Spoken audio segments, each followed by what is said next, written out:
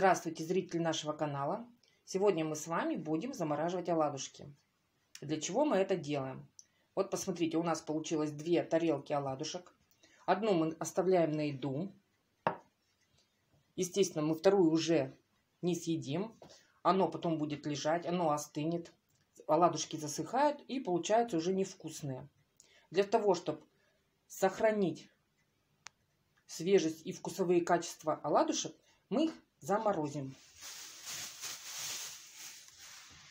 Обязательно нужно, чтобы оладушки у нас с вами остыли, были холодными. После этого складываем в кулек. Если вот для вас целая тарелка это много в один кулек, то можно их как бы на два кулечка, кому как удобно. Это очень хороший способ для того, чтобы ваши продукты и ваш труд не испортилось. Все. Закручиваем выпускаем воздух и отправляем вот таким образом мы с вами в морозильную камеру. Когда вам через некоторое время захочется опять оладушек, вы достаете из морозильной камеры этот кулечек.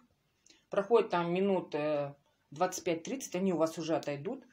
Кому надо тепленькие, можно их разогреть в микроволновой печи. И опять у вас свеженькие оладушки. По, по вкусовым качествам они такие же мягкие, воздушные, как вот только вот мы с вами их пожарили. Ну, на этом мы будем с вами прощаться. Не забывайте поставить пальчик вверх, кому понравился такой способ. Ну, а мы с вами увидимся в следующих видео.